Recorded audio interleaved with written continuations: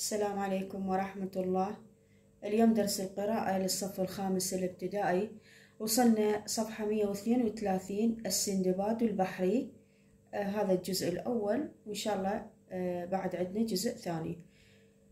السندباد البحري. راح نقرأ مع حل الحوار. كان في بغداد تاجر مشهور اسمه السندباد مولع بالأسفار البحرية.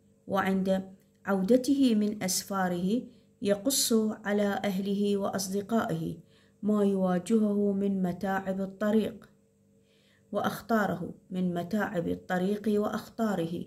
وفي إحدى الليالي التقى أصحابه وحدثهم قائلا اشتاقت نفسي للسفر والتجارة ونسيت ما لقيت من الشدائد فيما سبق. فتأهبت ثم فتأهبت ثم سافرت مع جماعة من التجار من التجار في مركب وسرنا نتنقل من جزيرة إلى أخرى ونحن نبيع ونشتري حتى آه نزلنا ذات نزلنا ذات يوم في جزيرة كثيرة الأشجار والثمار خالية من السكان ثم انتشرنا فيها نتفرج على رياضها وأنهارها.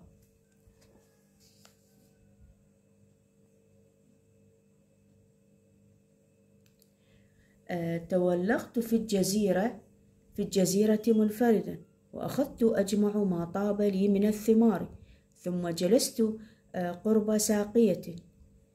فأكلت وشربت وطاب لي المنام فنمت.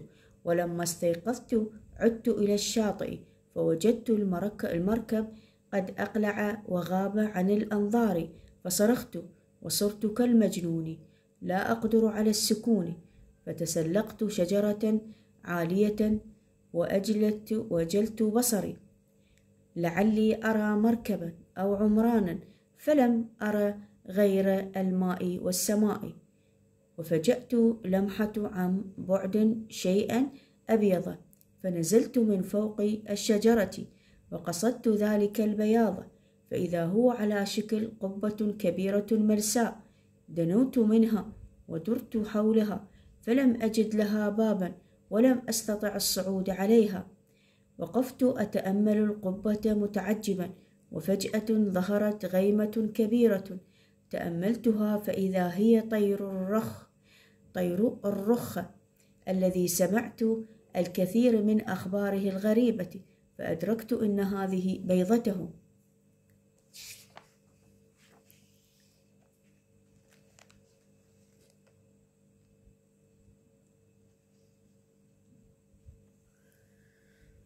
نزل الطائر وأحتضن بيضته وكان أضخم من الفيل.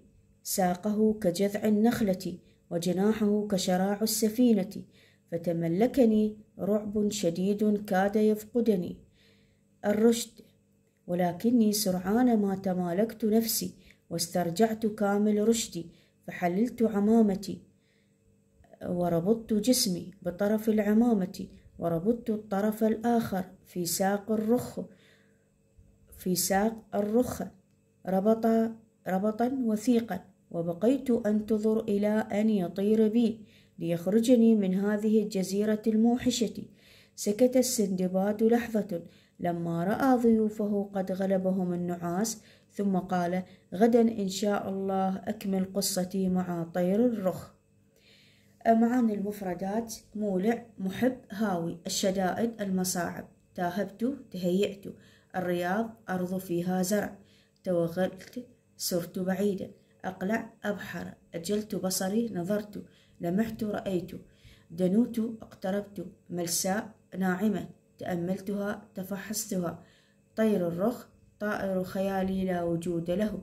تملكني رعب سيطر علي الخوف. يفقدني الرشد يجعلني بلا وعي. تمالكت نفسي سيطرت على إرادتي. إرادتي. أسا نحل الحوار. يلا عيني الحوار صفحة 135 أولا ماذا وجد السندباد حينما استيقظ استيقظ من النوم وماذا فعل طبعا وجد المركب هذا. خلنا نشوفكم إياه.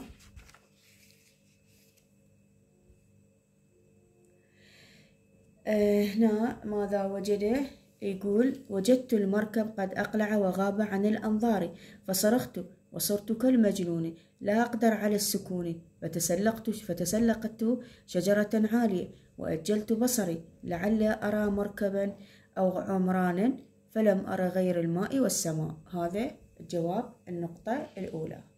زين. ثانيا ما الشيء الأبيض الذي شاهده السندباد؟ طبعا آه، شاهد السندباد هي آه، بيضة آه، طير الرخ. هذه سأشوفكم إياها. طير بيضة طير الرخة زين ثالثا لماذا صعد السندباد على الشجرة؟ لماذا صعد السندباد على الشجرة؟ صعد لعله يرى مركبا أو عمرانا. أربعة ما الذي يدل على ضخامة الطير؟ الرخ. طبعا البيضة مالتها بيضتها كبيرة. خمسة ما الوسيلة التي لجأ إليها السندباد ليخرج من الجزيرة الموحشة؟ آه طبعا الوسيلة هي آه ربط جسمه بطرف العمامة وربط الطرف الآخر في ساق الرخ. التدريب الأول آه وضح معنى أقلع في كل من الجملتين الآتيتين.